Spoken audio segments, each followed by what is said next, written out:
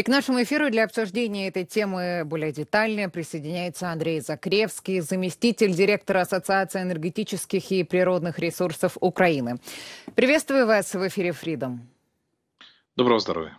Ну что же, как вы рассматриваете такую альтернативу, чтобы вместо российского газа был газ из Азербайджана? Э, какая выгода от этому Европе, кроме того, что она, собственно, соскочит э, с той самой иголки э, Российской Федерации, хотя это и так уже практически произошло. Для Украины здесь тоже понятна мотивация, потому что мы не хотим продолжать сотрудничество с Российской Федерацией. Но насколько вообще эта схема является реальной и возможной к воплощению? Ну, схема, э, если говорить, давайте рассмотрим эту схему. А, фактически, как это будет выглядеть? Это же будет э, выглядеть виртуальным реверсом. То есть, э, понятное дело, что Россия будет поставлять нам свой российский газ через нашу систему на Европу. При этом а, Азербайджан будет поставлять свой азербайджанский газ а вот э, туда, вниз, э, ну, грубо говоря, по южным потокам. А вот э, у нас, ну, я сильно сомневаюсь, что это будет физический, физическая поставка. То есть это будет поставка все-таки виртуальная. То есть, грубо говоря, будут объемы, Азербайджан свои объемы будет вниз отправлять клиентам России, а Российская Федерация будет э, свой газ отправлять на Европу, и это будет э, засчитываться как э, азербайджанский газ. Вот так вот эта схема, скорее всего, будет выглядеть.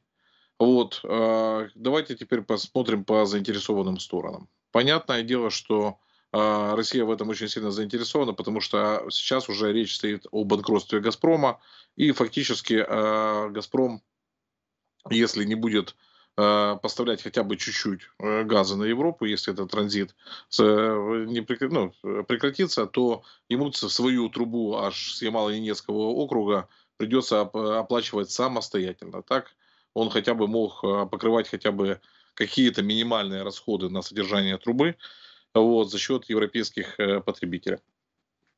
Что хорошо европейским потребителям, это понятно, то, что они Э, могут выкрутить э, руки «Газпрому» и более дешевые цены э, взять. Это раз. Что хорошо для Орбана, это понятно, потому что за счет дешевых цен, он, которые предоставляет ему «Газпром», он имеет зазор, как в свое время имел зазор там Фирташ или э, Тимошенко, то есть на которых строят свои политические партии. Вот. Это, эти интересы понятны. Какой интерес Украины в этом? Но интерес Украины заключается, ну, есть, наверное, два интереса Украины. Первый интерес Украины заключается в том, что э, все-таки будет поддерживаться давление в, хотя бы в одной из труб. И э, за счет этого, э, опять же, цены на содержание нашей трубы не будут повышаться. Вот, то есть это прямая связь с потребителями. А вторая заинтересованная часть, ну, в связи с визитом Орбана, понятное дело, что это начинает походить на какие-то переговоры, на установление каких-то точек безопасности между собой. Вот, то есть Россия таким образом фактически защищает свою трубу, это первое. Второй момент, на этой трубе сидят два газохимических завода, которые являются лакомой целью для наших, э, э, для наших э, беспилотных аппаратов. Мы уже показали, как мы до Урала летаем.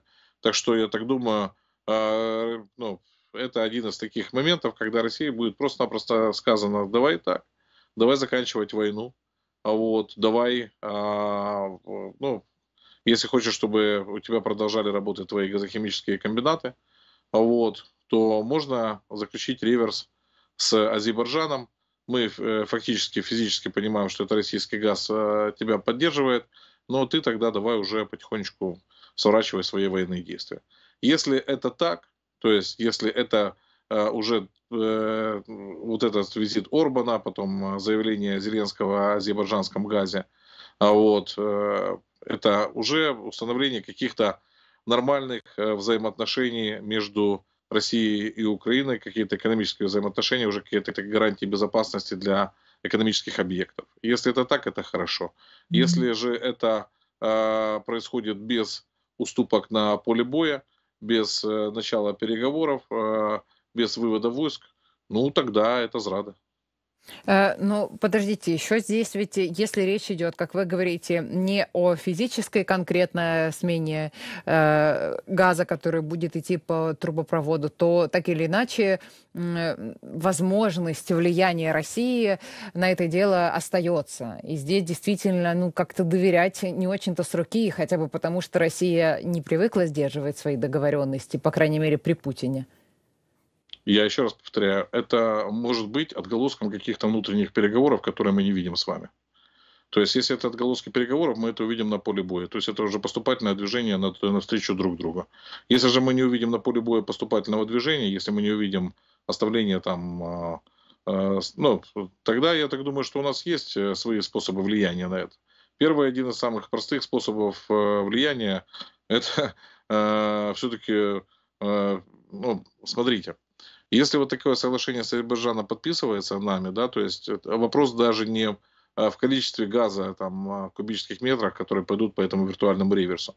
Вопрос в том, что э, тогда, если мы ударим по газохимическим предприятиям, которые, извините, сейчас делают азотную кислоту, азотная кислота идет на изготовление взрывчатки, вот, то есть э, мы уже подошли к этому моменту, когда э, уже э, мы уже по пороховому заводу ударили в, э, на прошлой неделе. Я думаю, что это а, понуждение а, Путина к установлению каких-то уже а, отношений. То есть это уже какой-то ну, шаг навстречу, когда Путин показывает о том, что смотри, физически, может быть, и не будет твоего газа, да, но мы гарантируем безопасность хотя бы твоей трубы.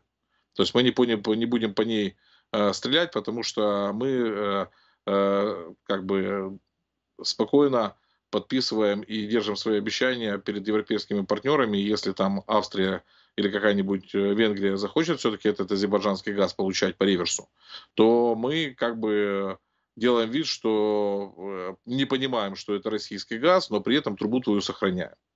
Вот так вот.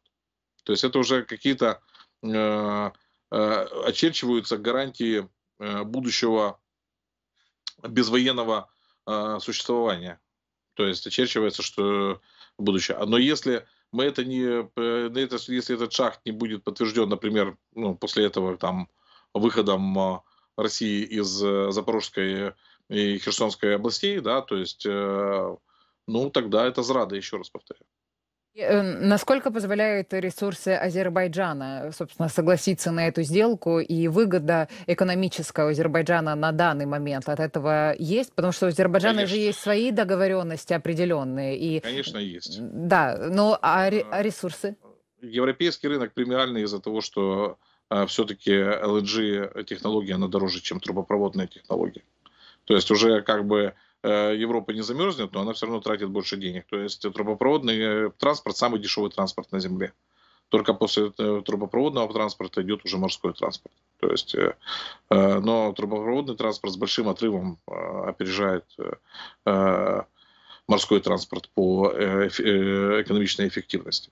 Поэтому Азербайджан, конечно, Европа в этом заинтересована, потому что рынок Европы, он более дорогой чем э, рынок Средней Азии, где и так он перенасыщен различными поставщиками газа. Вот, то есть поэтому э, однозначно э, Азербайджан заинтересован в этом. И эта тема рассматривалась. То есть на самом деле до войны такие предложения были. То есть я помню, когда Юрий Витвенко предлагал европейским поставщикам заключить договора с азербайджанцами, да, то есть азербайджанцы, если Россия вдруг не предоставит им возможность доступа к своей трубе, вот, там, Азербайджану, Узбекистану, например, вот, то тогда, э, тогда э, уже э, говорить о том, чтобы подавать там в суд, как мы подавала Украина в свое время. То есть уже были такие варианты. Но это было в мирное время. Извините, когда а, просто по ну, моральным соображениям можно было еще поддерживать бизнес с Российской Федерацией, да, то есть когда э, закончились активные, ну фактически затихли активные боевые действия, люди не гибли. Сейчас, когда люди гибнут, это ну, подписание договора напрямую, то есть это ну, Украина невозможно. Вот, поэтому рассматривается вот такой вариант.